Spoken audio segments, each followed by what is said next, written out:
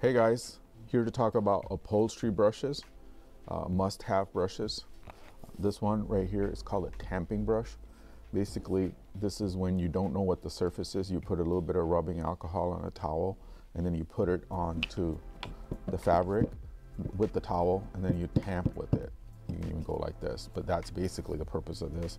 Um, it's also good for like little light agitation, but but it's not good for like aggressive agitation. Anything that's this stiff will actually tear this up, um, especially going in this direction where the where the warp is going up and down like that. If you go against it, you, you're gonna tear it up. So um, this is good for like agitating a little bit, but you know, you gotta be careful. You can't go in all directions with it.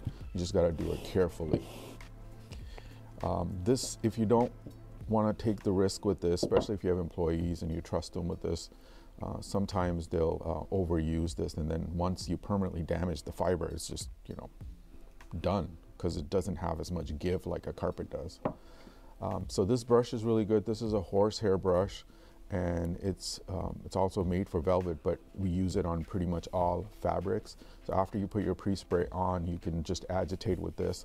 And this one doesn't matter what direction you go because there's no way that this is going to damage the fiber.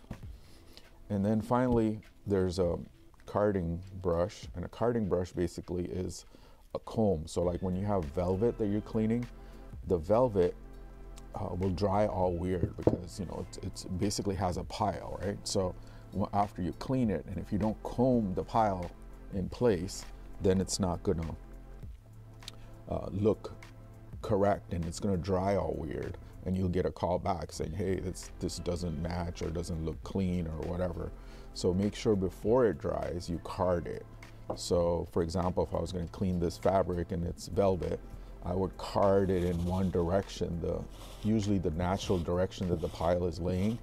So once I card it and it dries, it'll look beautiful because it's going to be all in the same uh, direction, the pile. So it doesn't look like one's dark, one's light, or it doesn't look dirty and it looks nice, well groomed. Uh, so it's worth the investment. This is all stainless steel. Uh, it's a really nice brush. Um, it's made for exact application uh, uh, for us for carding your velvet. that's it. So those are the basic brushes for your upholstery cleaning. Thank you.